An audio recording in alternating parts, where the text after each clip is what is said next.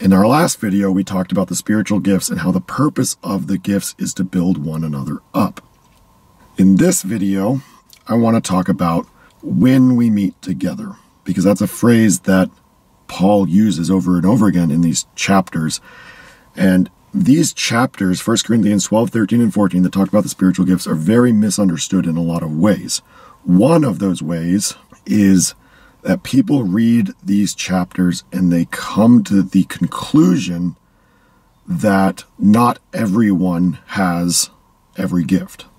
And that's actually very common in the church. Most people have the opinion that, okay, I have the gift of tongues, but I don't have the gift of prophecy, or I have the gift of prophecy, but I don't have the gift of tongues, or I have the gift of teaching, but I don't have the gift of healing, or whatever, what have you. A lot of people have this opinion that okay, well, I don't have that gift. And I want to talk about this because it's really taking this whole section out of context. And that whole idea is based on these verses alone. It's not something found really elsewhere in the Bible. It's it's taking these verses and saying, well, see, not everyone has every gift. I'll start off by reading the verse that everyone bases that on. There's actually a few, but this is a good summary. This is at the end of chapter 12, starting in verse 27 through the end of the chapter. Together you are the body of Christ, and each one of you is a part of that body. In the church, God has given a place first to apostles, second to prophets, and third to teachers. Then those who do miracles, those who have gifts of healing, those who can help others, those who are able to govern, and those who can speak in different languages. Not all are apostles, not all are prophets, not all are teachers, not all do miracles, not all have gifts of healing, not all speak in different languages, not all interpret those languages, but you should truly want to have the greater gifts. People look at this and they say, See, not everyone can speak in tongues, not everyone can prophesy, not everyone can heal. But here's the problem. Starting all the way back in chapter 11, verse 17, Paul said, In the things I tell you now, I do not praise you, because when you meet together, you do more harm than good. He then continues talking about the Lord's Supper, and people kind of just assume that when he said that, he was only talking about what he says in the rest of that chapter. And that's because we break things up into chapters and verses, and Paul didn't do that throughout the rest of 12, 13, and 14, he is still talking about when you meet together. And I'm just going to read a few verses to back that up. Because in chapter 12, he goes on talking about the spiritual gifts. In chapter 13, he explains that the spiritual gifts should be defined by love. And in chapter 14, he continues talking about the spiritual gifts. So these three chapters are all one unit. But in chapter 14, he's making it clear that it's still in the context of when you meet together. In chapter 14, I read this in the last video.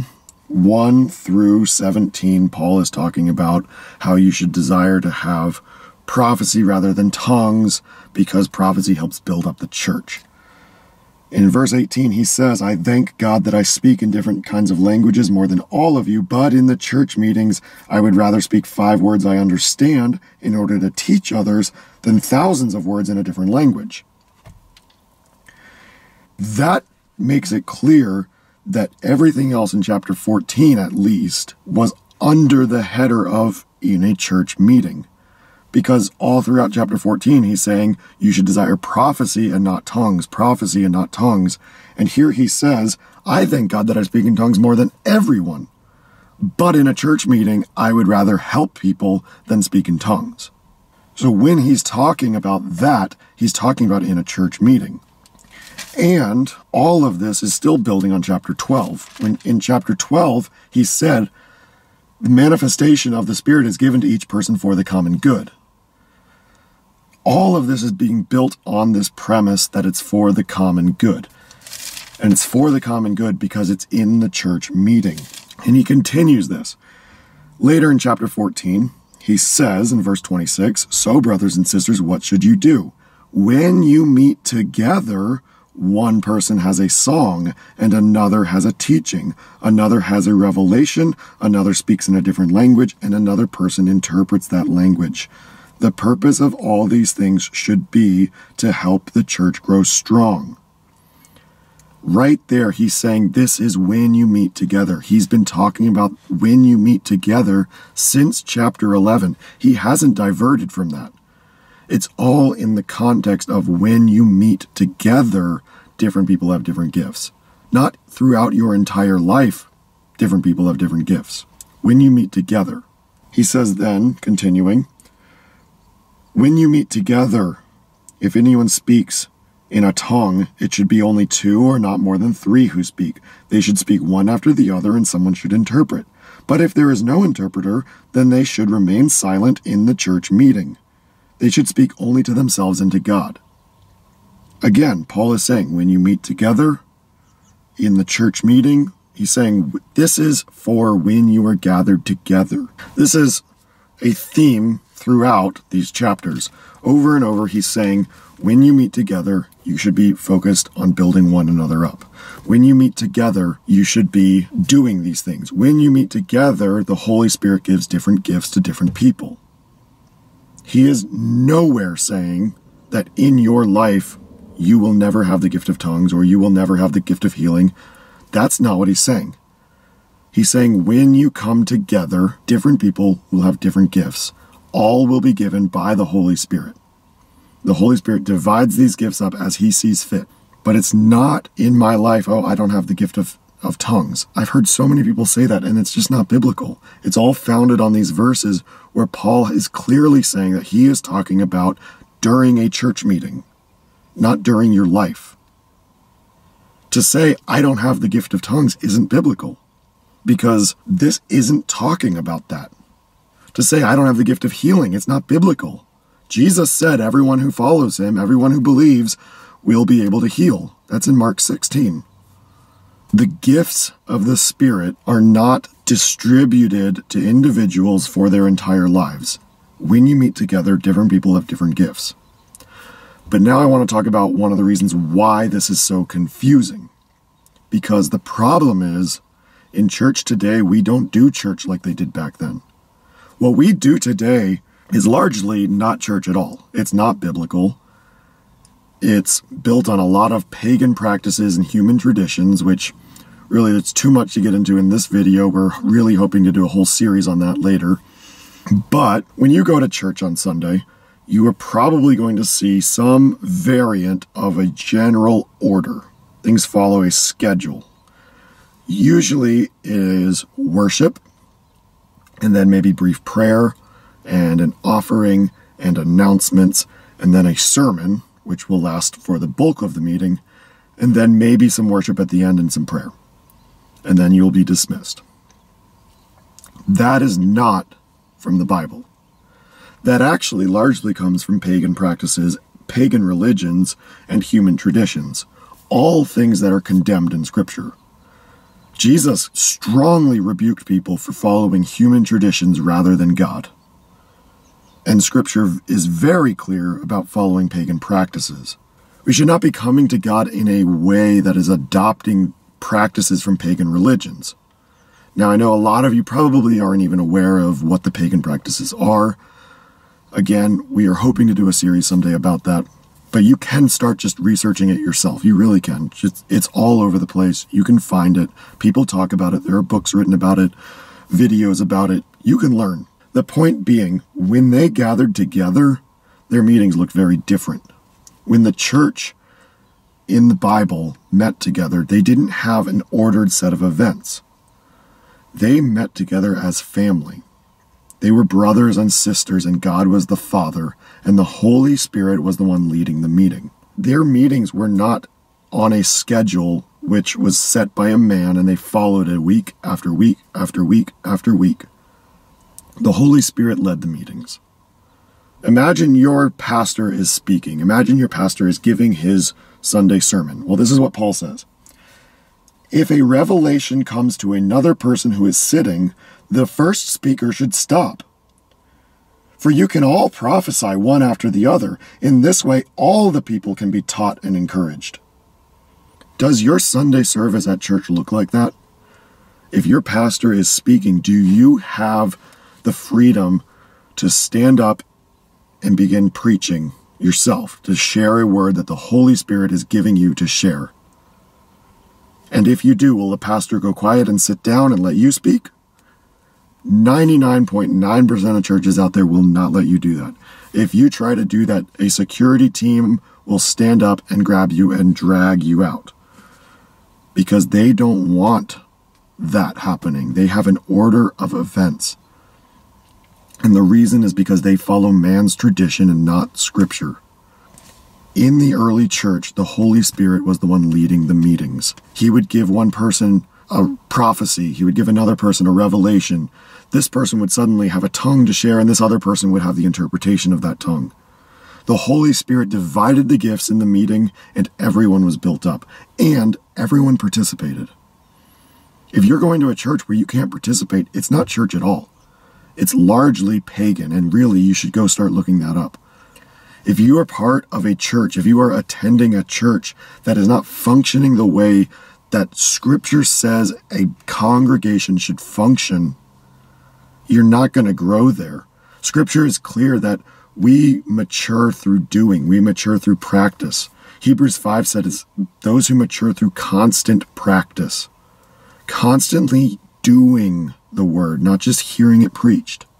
Paul says in Colossians 2, I want them to be strengthened and joined together with love so that they may be rich in their understanding. This leads to their knowing fully God's secret, that is, Christ Himself. Being built together in love, in other words, in action, in participating, will lead you to have understanding and to know God's secret, which is Christ Himself. If you are just going and singing songs and sitting there listening to a pastor preach, you are not going to grow in understanding according to Scripture because you will mature through doing, not through sitting and listening to a preacher. That's why the early church met together. They didn't meet together in an organized meeting. It was family coming together. They came and they hung out, they had a meal together, and they fellowshiped together. And that was their meeting. And the Holy Spirit led the meeting. It's really, the pastor is not in charge of leading a meeting. Biblically, the pastor has no authority to run the meeting. He can help facilitate people getting together, and his job is to help others grow, but his job is not to run the meeting. Scripture is clear that Christ is the head of the body. He is the head of the church. Even the word church in your Bible comes from the Greek word ekklesia. I might be pronouncing that wrong, but in the Greek that was originally written, they didn't write church because they wrote in Greek. They wrote ekklesia. But ekklesia does not mean church. Church is not even a biblical word. Ecclesia means congregation or those who have been called out. Because through Jesus, we have been called out of slavery to sin. Just like in the Old Testament, God referred to the Israelites as the congregation or those who have been called out. They used the Hebrew equivalent, but it was the same meaning. It was different language but same meaning. Congregation, those who have been called out, because they were called out of slavery in Egypt and they were being led to the promised land. And for us, we were called out of slavery to sin and we are being led to the promised land. This is actually a common theme all throughout the New Testament and it sheds a lot of light on what Christianity is supposed to be. In 1 Corinthians 10, Paul is talking about the Israelites in the wilderness after they were called out of slavery in Egypt. He's drawing a lot of connections about how their lives are similar to our lives in the church age. And he actually says the things that happened to those people are examples. They were written down to teach us for whom the culmination of the ages has come. What's he saying? The culmination of the ages is basically referring to the age of the Messiah, age of Jesus. Scripture says that Jesus came at the culmination of time or at the climax of time. There are different ways you could translate it. But he's saying these things that happened to the Israelites in the wilderness were written down to teach those who live in the church age. Because just like the Israelites were brought out of slavery in Egypt, we were brought out of slavery to sin. And when we read their stories, there is a parallel. We're supposed to learn from their stories so that we don't make the same mistakes that they made. Anyway, that was all kind of a tangent, but here's my point. Just like they were a congregation, they were the people called out. We are a people who are called out. That's what the word church, when you see the word church, that's what it actually means. It's not supposed to say church, it's supposed to say congregation or those who have been called out. And in Scripture, it says that Christ is the head of those who have been called out. He is the head of the congregation. He is the one who is supposed to be leading, not the pastors. Christ is the one who, when you meet together, the Spirit of Christ, the Spirit distributes the gifts to different people for different purposes when you meet together, there shouldn't be an organized series of events. If you have that when you meet together, it's religion. It's not biblical. It's not Christianity. That's not how they did things, and you can't grow in that. When you are practicing the gifts, you are practicing love because the gifts are all about other people. And Paul says in again in Colossians 2 that if you are practicing love, that will cause you to grow in understanding. That will cause you to understand the secret, which is Christ himself. You grow through living in love. You grow through practicing love. And if you are in a church that's not letting you do that, you're not going to grow. And no one else is going to grow either. No one else is there is going to grow. You're not even able to help them. I mean, it's not even you know, the spiritual gifts are for you to help others, but you're not even able to help others. More than that, you yourself are not growing. This idea that people need to hear preaching over and over and over again, we often think that that's what they did in the Bible. But that's not what they did. Paul just described, again, in 1 Corinthians 12, 13, 14, he described what their meetings looked like. Everyone was participating. It wasn't focused around the preaching. That was an idea that Martin Luther introduced into the church. Martin Luther came along and he said, Preaching is the primary way that God speaks to his people, and that is how the church has done it ever since. But that's not how they did it in Scripture. Scripture does not say you will grow through preaching. Scripture says you will grow through practicing love. And the one of the primary ways to practice love is through practicing the spiritual gifts when you meet together. If you are not able to practice the spiritual gifts when you meet together, you're not doing what you're supposed to do when you meet together. A lot of people defend the church meetings that are done today by saying, well, Hebrews 10 says that we should not neglect to meet together. For reference, that, that verse is Hebrews 10 25 you should not neglect meeting together as some are doing. But that's also plucked out of context. Because when you meet together, you should be doing what the verse right before that says. Hebrews 10:24. Let us think about how to provoke one another to show love and do good deeds. You should not neglect meeting together as some are doing, but you should encourage each other and even more so as you see the day coming. Today in the church, people say we shouldn't neglect meeting together, and so they just go through this church ritual, which is really just religion, and they think that they're fulfilling this verse. But you're not fulfilling that verse if you're not doing what the Bible says you're supposed to be doing when you meet together. You're supposed to be meeting together to provoke and encourage one another to love and good deeds. In 1 Corinthians, it's clear you're supposed to be meeting together and practicing the spiritual gifts and building one another up. Everyone should be participating because that's how people grow. If you're going to church on Sunday, week in and week out, and you're just following a set schedule by a that was determined by a man you're not doing what Hebrews 10 says to do. You're still not meeting together in the way it says to, to meet. You're not growing, and the church around you is not growing. We put this emphasis on we need to be taught, we need to be taught. But let me read you a verse in Hebrews 5. He's talking about a different topic, but then he pauses and he says, We have much to say about this, but it is hard to explain because you are so slow to understand. By now, you should be teachers but you need someone to teach you again the basic principles of God's message. You still need the teaching that is like milk. You're not ready for solid food. Anyone who lives on milk is still a baby and inexperienced with the message about righteousness. But solid food is for those who are mature, who, through practice, have trained their senses to know the difference between good and evil.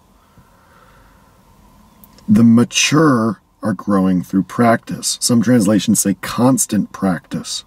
But those who are immature are trying to grow through teaching. Do you see the difference? Practice means you are doing. You are doing, you are doing, you are doing, and as you do, you grow. Teaching, you are sitting and you are listening. You are listening, you are listening, you are listening, and you are not growing according to Scripture. James says the same thing. Don't be a hearer only, but be a doer. If you're a hearer only, you're deceiving yourself. According to Scripture, you grow through doing, you grow through practicing. Think of it this way this concept is actually very common to the human life. Everything we do, we grow through doing and not just listening. The Christian life is often compared to becoming a baby, becoming a child, and growing through maturity. Even this verse here in Hebrews is calling it immaturity versus maturity. He said, You're still a baby, you still need milk, but you should be mature. Does a baby learn how to walk by having someone tell them over and over again how to walk? No, a baby learns how to walk by trying. Or think of it this way for me, my secular work career has been in the printing industry. Now, I won't bore you with all the details, but here's the thing. My first day on the job, I knew nothing. I didn't go to school for this, I hadn't been trained for it, I knew nothing. I showed up to work and my boss didn't give me a book to read. He didn't sit there and just tell me everything all at once. No, he gave me this printed graphic. It was this decal that was going to go on the side of a truck. He handed it to me and he said, Go on this job site and stick this on the side of the truck. And he briefly explained to me how to do it and then he sent me out. And you know what happened? I came back and I was like, The graphic's crooked. and so then we had to redo it and he sent me out again and I got it right. And everything I learned, I learned through doing, not through being told. I would be told, but then I had to do. It wasn't one without the other. I would hear how to do it and then I would try it. And sometimes I'd get it right the first time, but often I wouldn't get it right the first time. And over time, I became good at my job. But my first day there, I was not good at my job. Honestly, the first year there, I wasn't that great at my job. But over time, I learned. And eventually, I reached the point where I worked my way up through the company until I was running the whole shop. I was the manager of the entire shop. It was because I learned how to do it by doing it. I didn't learn by just being told. And that's very common for people. We learn best by doing, not by just hearing. So, all of that to come back to this. In 1 Corinthians 12, 13, and 14, Paul is describing what it should look like when we meet together. When we meet together, everyone should be participating. If you are part of a congregation where you are not allowed to participate, where the Holy Spirit cannot tell you to stand up and say something because you're not allowed, honestly, you need to just leave and go find a congregation that you can do that. You will most likely never find that in a traditional church with a building and with a pastoral team. Most of the time, you will find that by finding other like minded believers who want the same thing, and you just start meeting together in homes. That is also biblical. They met in homes, they didn't have buildings.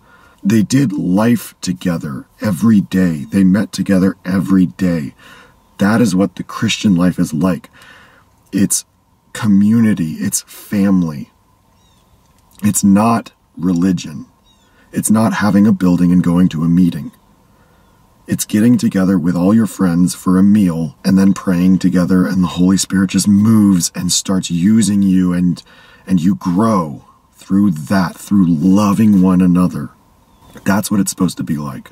So if you're not part of that, then start trying to find that because that's how you're going to grow. You're not going to grow through just listening to preaching. You're not going to grow if you can't practice it yourself.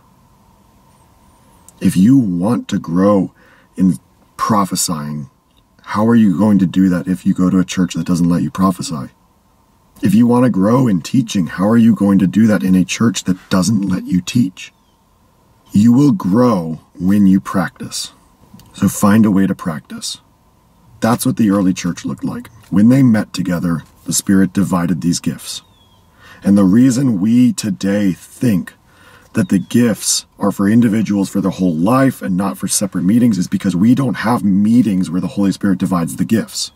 And so then we have people saying, well, I don't have the gift of healing. Well, you've never been in a circle where the Holy Spirit has divided up gifts and has given you the gift of healing. Because the gift of healing is not an ability, it is a gift that the Holy Spirit gives you to give to others. When it says gift, we read the word ability into that because we talk about it like, oh, that person's a gifted person. You know, if someone's an athlete, we say, oh, they have the this gift. We talk about the word gift as if it is this ability, but Scripture uses the word gift as in it is a a gift, a present, a thing that God gives you to give. It is a thing He gives you. And Paul is clearly saying that when he gives you that thing, it's not for you to hold on to for yourself. No, he gives you things for other people, and he gives them things for you. That's how the spiritual gifts work, because the body is supposed to be building one another up by using the spiritual gifts, by practicing the spiritual gifts, by doing that in love, because it's about others and not about yourself. And as you do that, you will grow. You will mature. You will understand Christ, you will understand what the gospel's really about and what it means when it says that Christ is in you. You will begin to understand the fullness of that and all the implications. But it only can happen if you are in a setting that lets you practice and doesn't force you to sit there in a chair and just listen to preaching. That's not Christianity. Just because people call it Christianity doesn't mean it is. Scripture's full of warnings that the church age is going to be full, full of false teachers and false Christians and people who are deceived. Over and over and over again, that is what the warning is. So we can't just define Christianity by what the world tells us Christianity is. They say Christianity means you go to church and you hear preaching and you sing songs, but that's not what the Bible says it is. It's daily life, it's family, it's being children of God, and it's growing through loving one another.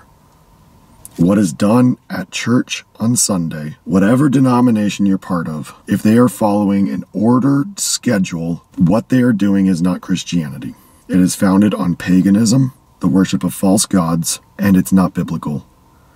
And just because someone says that they are worshiping Jesus does not mean they are worshiping Jesus. That is a theme also throughout the Bible, and it's really too much to get into in this video. It's aside from the point.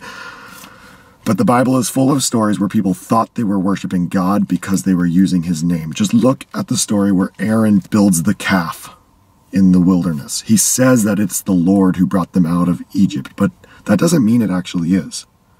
Just because you use the name Jesus doesn't mean you're worshiping the person Jesus. And that's a whole nother topic for another time. But that is one of the problems in the church. Just because they call themselves Christian doesn't make them Christian, and the Bible is full of warnings that that is what the church is going to look like in the church age. The church age being everything from the time Jesus came the first time to when he returns. The time we live in, the church age, is going to be full of false Christians, false teachers, and a lot of bad teaching, and a lot of misunderstanding, and a lot of people will be deceived. So follow scripture and not human tradition. And if those human traditions aren't matching up with this, then don't do it. Church in scripture is not even church. It's the people who are called out. And when they meet together, it's not an ordered meeting, but it's a fellowship, a family getting together, and the Holy Spirit is leading it, and the Holy Spirit is dividing gifts among them, and everyone is participating and everyone is growing because they are participating. There's no such thing in the Bible as the congregation getting together for a meeting in which they follow a scheduled order of events because that's religion and God is never about religion. When the early church got together, they followed the leading of the Holy Spirit, and that is what it should still be today because nothing has changed. The only thing that has happened is that religion has been introduced, and people follow religion thinking they're following God. But true Christianity hasn't changed. It should still look exactly like what we read in Scripture, and it still happens today.